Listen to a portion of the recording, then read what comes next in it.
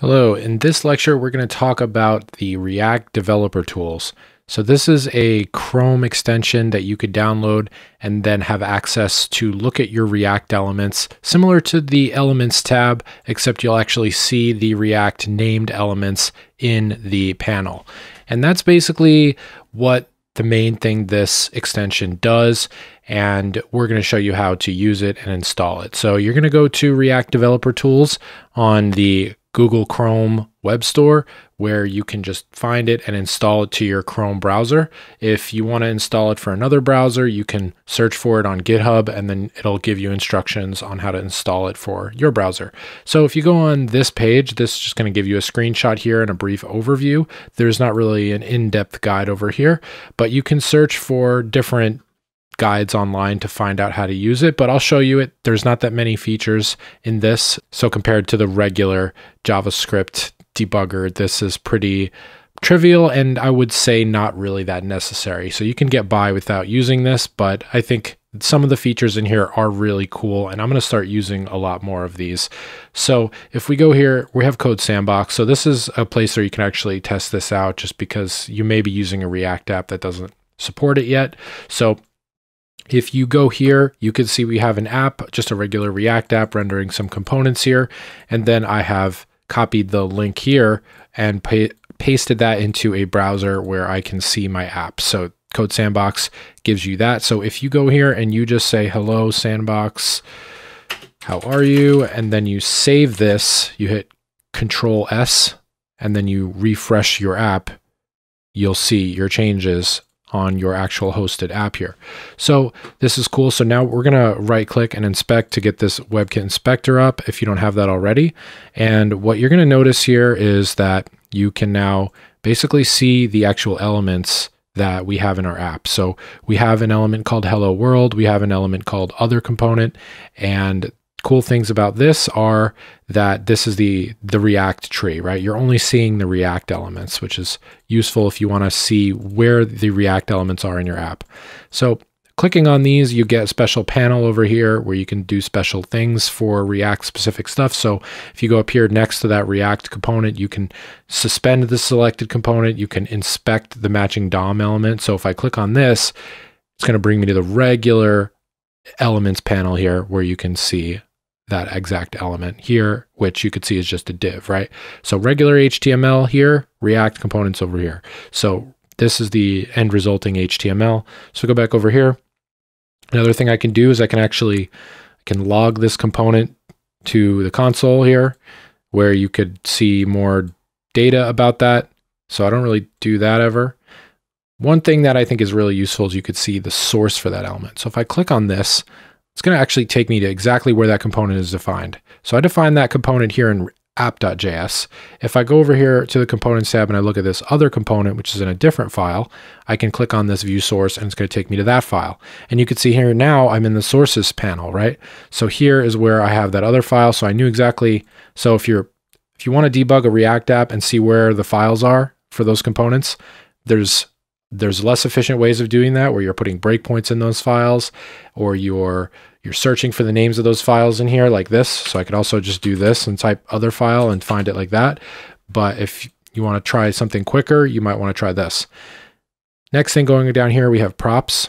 So here in Hello World, I don't have any props hooked up, but in other component, if you go, if I go over here and show you the other component source code, I have basically some props here, a default prop that says component name fill, which is a default prop here.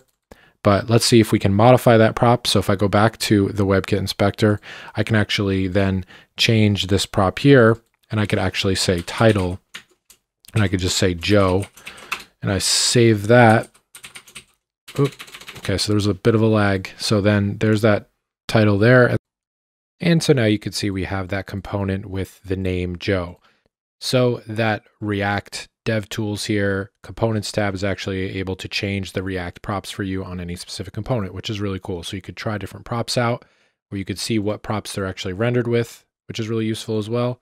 So we can copy that to the clipboard here using this. And then I think we could paste those in here as a JSON expression. So that's cool. And then over here, we can copy the source of that as well. So if we copy that React source component there, we can go over here and we could paste that in, and then that's the source of that app. So you could maybe paste that into your file explorer to get to that file quicker.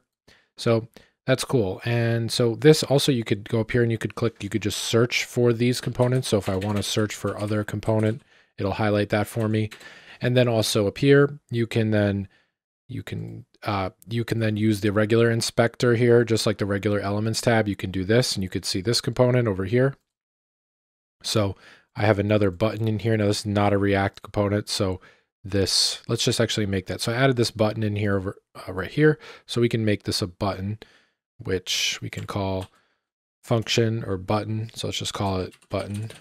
So we do that and we go up here and we just create this and we return this button. Now what this button is going to do, it's just going to set a style when you click on it. And the reason I'm doing this is so that we could enable the React profiler to see what's going on with that. So here we go. We have this. So now we're just debugging, more debugging. So we have this thing is not defined. So I have this, I have a hook. So we'll just move that hook up here. So I have a hook that using use state, I'm just setting the color of that. So as I click on this, it changes the color because I'm setting the state to be something and then I'm inverting that. So if it's true, it's then false and then false if it's true. If it's undefined, it then becomes true. So then if it's true, it, it's blue text and if not, it's green. So why did I do that? So I did that so that I could save this. So hit Control S, and then you're going to jump on over to your link. You're going to refresh, and now we see our React component. So you go. So if you're not seeing all your React components, maybe they're just regular HTML components, and you didn't know that. And I have that React component there. Now another thing you'll notice is really cool. You have that hook here, so you could actually see the hook defined there. And as I click on the button, it's now changing the state. So you can see here that state of that hook is true or false. So isn't that cool? Really awesome, right? So now you could debug state in addition to props. So that's that's all I'm going to share with components tab right now. You can you could play with this. You could do previous searches and you can go up here. You could also do the light theme. So you could change some settings up here. You could change it to a light theme if you want. We're going to do dark theme. So let's go to the second extension that was installed, the profiler. So what this is going to do, the same thing the net network profiler or performance profiler that we looked at. If you write, if you click on this and you click start profiling, and then you refresh the page, that does nothing, right? Because what what this is doing is only recording React activity. So if you record this and then you just click on this button a couple times, and then we go here and we undo that recording, now you could see we have a timeline. So not much of a timeline, but we have something here. So we could see different states, I think, that were rendered here. And then as we're, we could step through and see different times of those renders or different, yeah, so different time intervals for those renders. Now let's go to the interactions tab. Let's see if we can see that here as well. We're going to click on record again, click on a couple things and it's going to say no interactions were recorded. So if we go here and we look at the API, you can see interaction tracing. And so what you need to do is you actually need to wrap your app in this special profiler. So you're going to need to actually wrap your app in this specific component.